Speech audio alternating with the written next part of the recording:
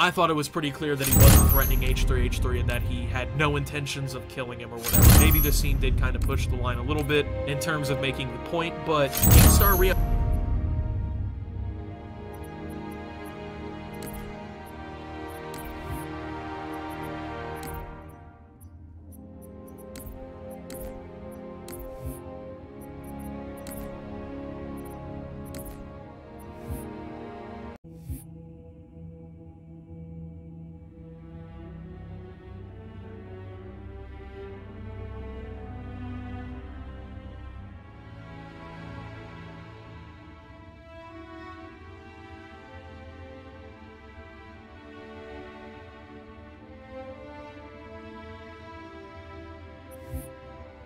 It's been white.